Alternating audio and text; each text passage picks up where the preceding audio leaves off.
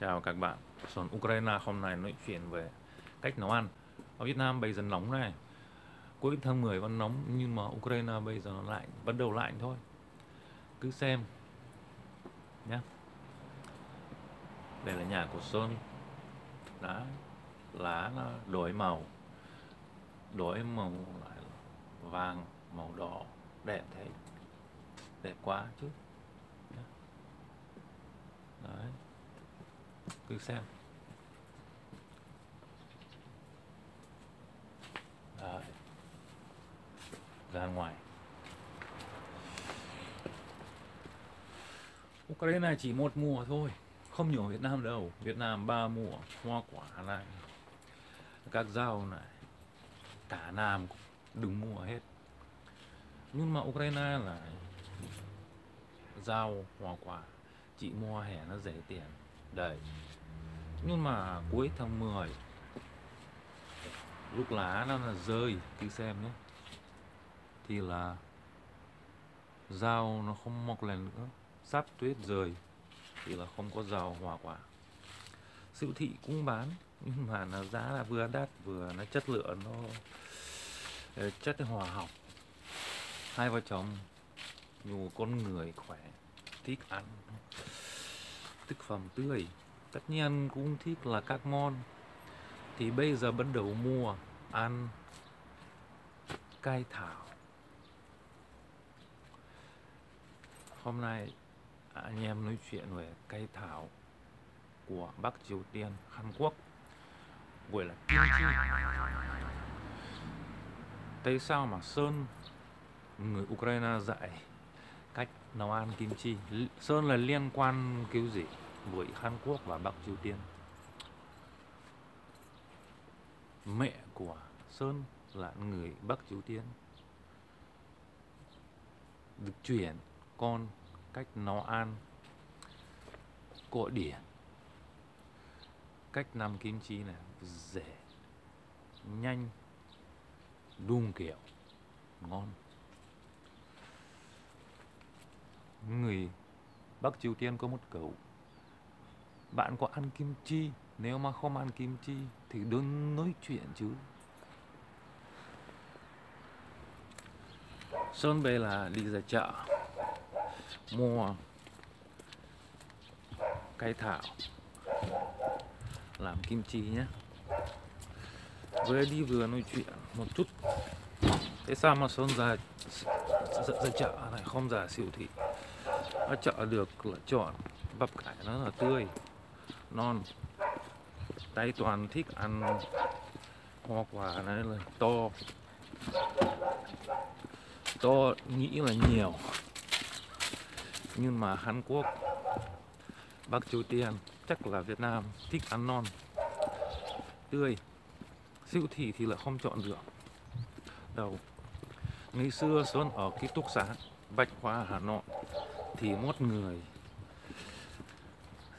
một người sinh viên từ Bắc Triều Tiên sang, tên là Trung Nghi lúc đi ăn cơm thì bảo và mang theo,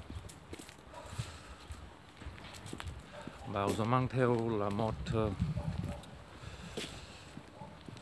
một lọ ba lít này, kim chi. Tiết hậu cũng mang theo. Không có kim chi này, ăn không không thấy ngon Xuân mới ra chợ này gần nhà chợ nó bán thực phẩm đến đây chọn cây thảo này sườn cân đây có cái gì này khoai tây này cà rốt này hoa quả Смотрим пока просто. hoa quả này sắp này hết mua thì là có máy bán nữa. Đấy. dân Ukraine nó bây giờ mắc quần áo ấm này. Lại rồi. Hay nào cũng chuẩn bị là mùa đông?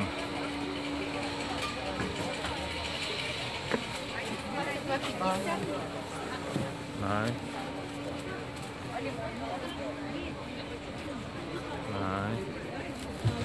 Sơn hay mua ở chỗ đây này. Hay thảo. Cái thảo này là đường, Bé Đấy. Được dùng. Sơn mua hai cái thôi. To hay nhỏ. Này Cái gội. Đó Các loại này. Đầy đủ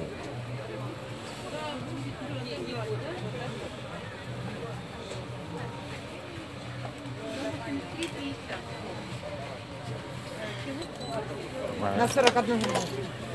bốn mốt đồng. Bốn bốn mốt đồng là ở Ukraine. Phương pháp làm kim chi quận chống nhất là cách phả dầu các bạn cứ xem kỹ. Chúng tôi sẽ mỏm cái thảo đã. Giật đứt cái thảo thành hai phần sau. Cách này là cách là của truyền. Làm kim chi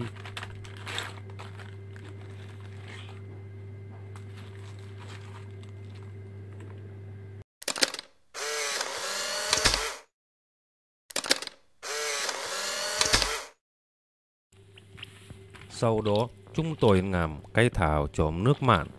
Gần hai tiếng hải cả đêm cũng được.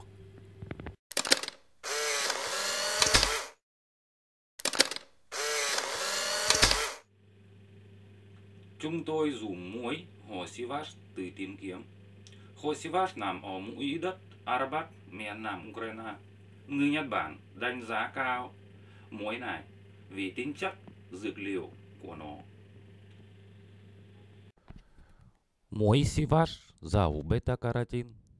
Beta-carotene, một phần của muối biển, cùng với iốt biển, magie và brom, không gây dị ứng và không có tác dụng phụ và chống chỉ định.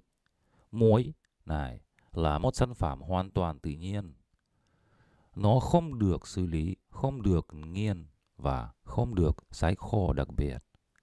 Đây là một sản phẩm tự nhiên 100%, nước muối và muối hồng có thể chứa một số hạt tự nhiên tự hồ. In theo mức sao cây thảo, chúng ta lấy hai củ cải trắng, một miếng gừng, một củ hành, 24 tép tỏi, một củ cà rốt và một bó hành lá. Chú ý nhé, để ra thêm vị đặc sắc cho kim chi, chúng tôi cần bỏ thêm 20g tôm khô bằng cách tán tôm thành bột. Chúng tôi năm nào tự kim tiếm tôm, tự làm tôm khô dưới mặt trời, lúc đi nghỉ ngơi ở ven biển rồi cắt kim burn. Chỗ này sạch sẽ, thiên nhiên nhất của Ukraine. Nếu mà các bạn thích hiểu biết về rồi cắt kim burn cứ xem phim của chúng tôi đã đang triển kệ YouTube này. Chúng tôi thái cà rốt cũng bằng cách truyền thống. Đầu tiên thái cà rốt xiên thành miếng vỏ mỏng tương tự. Thế. Sau đó lại thái miếng này thành dài. Các bạn ạ, chú ý nhé. Lúc thái cà rốt thì phải dù, bắt buộc dùng con rào đứng sát cà rốt trên ban mai, nhé.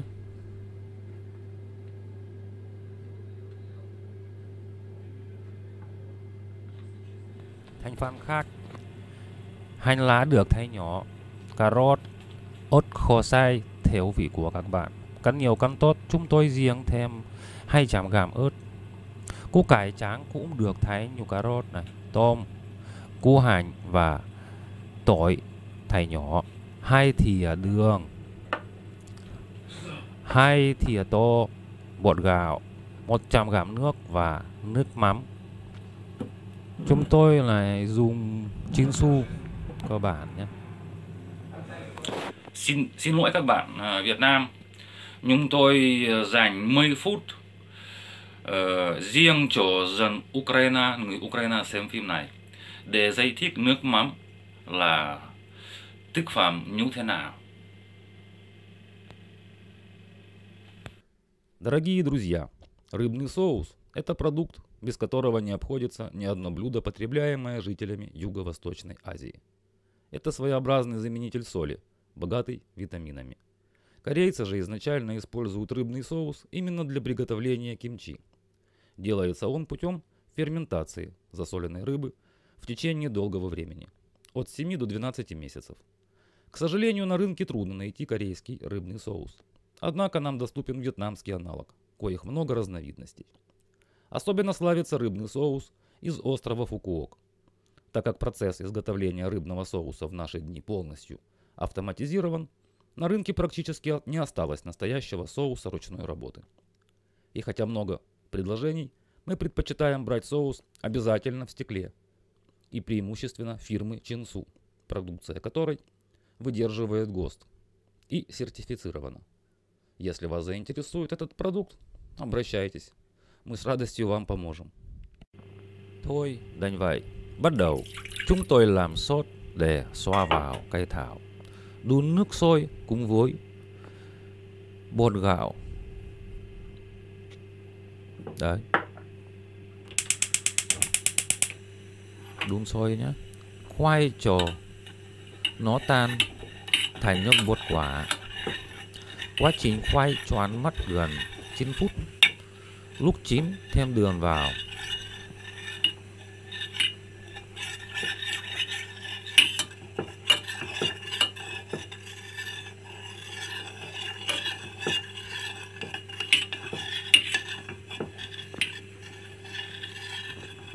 Cuối cùng, chọn các thành phần nhau với nước bột quả. Chúng tôi vừa làm xong xót xòa cây thảo. Sau khi rửa cây thảo trừ mũi, lại chia đôi mỗi phần cây thảo lần nữa. Bằng cách khía một nhất chỗ cứng. Như vậy này. Đấy. Mỗi phần tư cây thảo được xoa sốt vừa chuộn bỉ trước.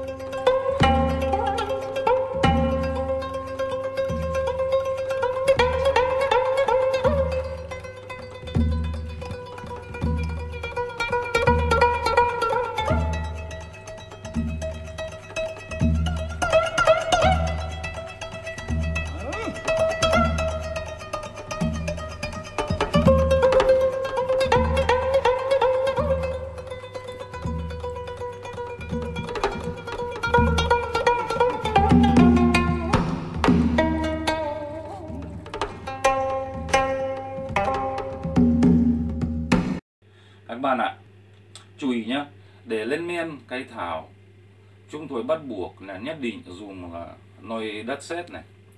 Đừng dùng plastic, không dùng lò thủy tinh.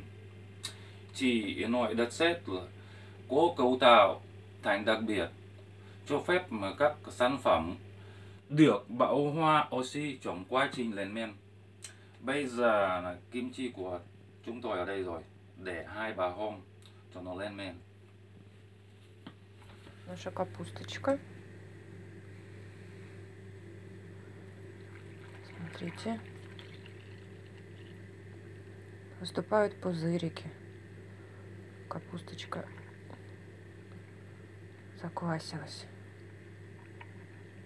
Можно убирать в холодильник.